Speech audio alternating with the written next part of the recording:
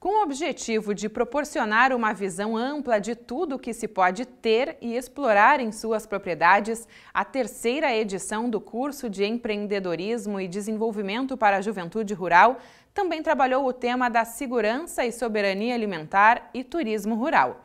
Uma das atividades do curso foi a visita dos jovens a uma propriedade turística no município de Canguçu.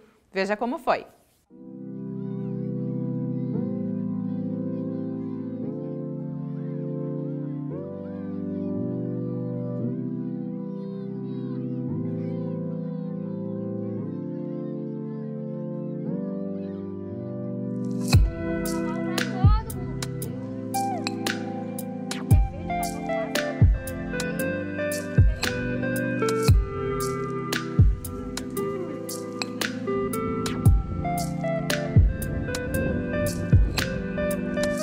Lugar para descansar, curtir a natureza e até voar. O Ecoparque Pedra do Luar está localizado no município de Canguçu, na região sul do estado.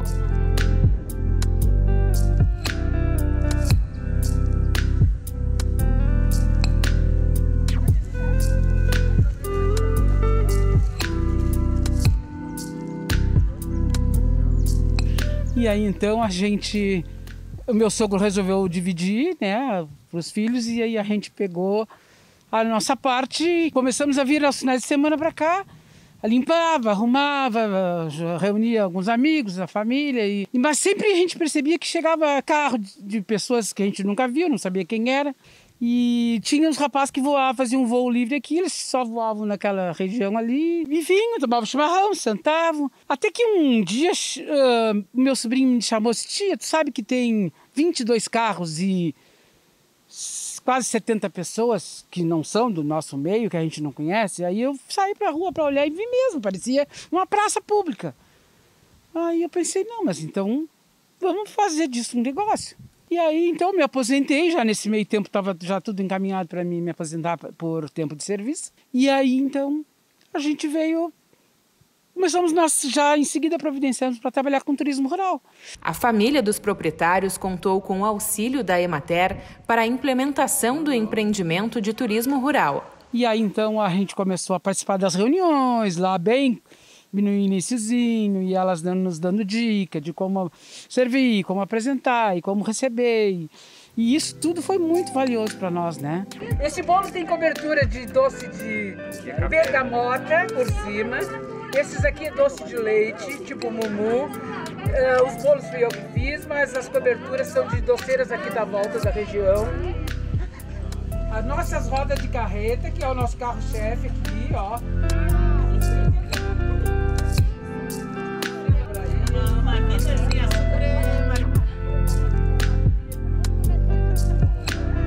Família que se disponibilizou, se desafiou e hoje está entregando vários produtos para a comunidade.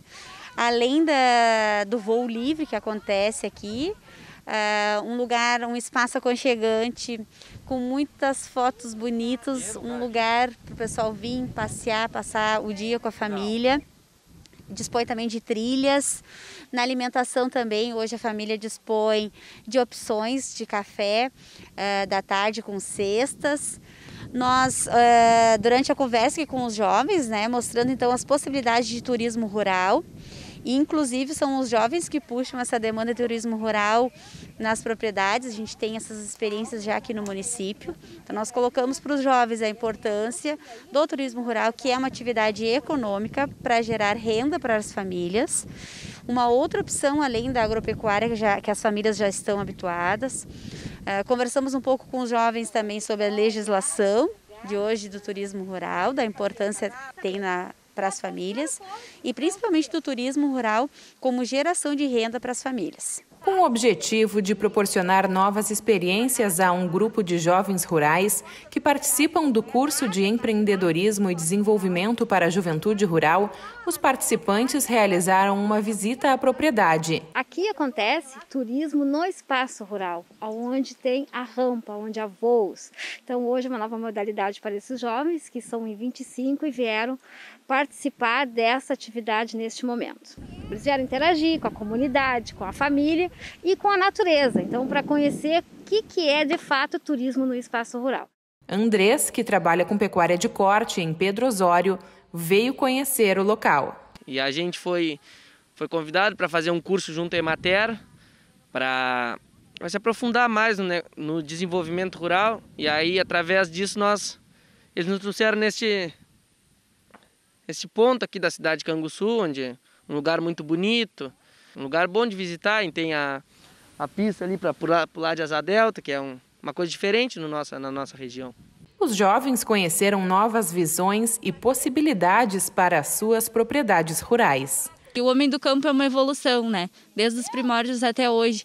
Então é de suma importância o curso e é de suma importância também que a Emater fomente esses momentos para que os jovens cresçam e uh, continuem no meio rural, né? Não desistam e não haja esse êxodo rural, que a gente consiga crescer as nossas propriedades cada vez mais e acredito que o turismo rural vai crescer muito ainda, né? É um nicho que a gente está desenvolvendo e que cada dia mais vai crescer, né? O que mais me deixa feliz é vir, receber, conversar. É... Tem gente que chega aqui, que nasceu e se criou aqui, mas mora agora no Paraná, mora no Mato Grosso, mora né, longe daqui, mas vem passar no final do ano mesmo. E a gente fica muito feliz com isso, de ver que as pessoas prestigiam né, o nosso trabalho e a gente fica sempre tentando se aprimorar mais.